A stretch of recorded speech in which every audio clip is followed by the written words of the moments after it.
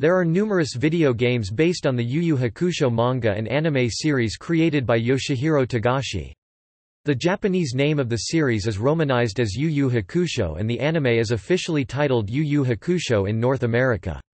The games primarily revolve around the protagonist Yusuke Urameshi, a delinquent junior high school student who is killed while trying to save a young boy from being hit by a car. Yusuke is brought back to life and is promptly given the task of solving cases involving ghosts and demons in the human world.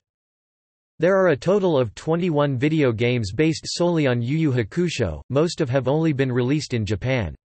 When the anime series aired on Fuji TV in the early 1990s, games were released on both home and handheld consoles.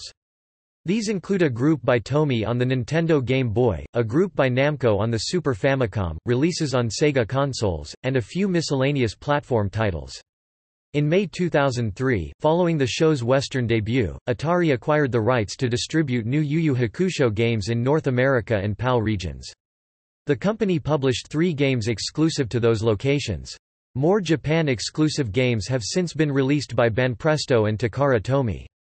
Games in the series are of several different genres, though many are action or fighting themed in relation to the manga's story arcs. Video games in the Yu Yu Hakusho franchise have achieved some commercial success. By December 2003, video games in the series had accrued $273 million in life-to-date retail sales. Atari reported adequate fiscal contributions from its releases in North America. Yu Yu Hakusho Forever for the PlayStation 2 also saw initial success on Japanese sales charts.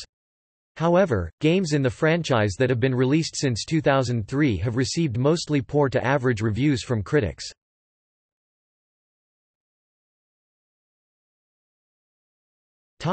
Video games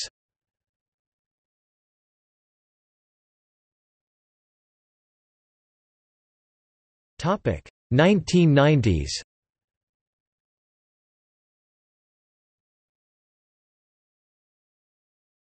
Topic 2000s.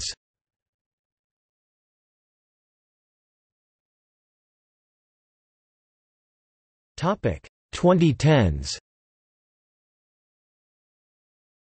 Equals equals equals other games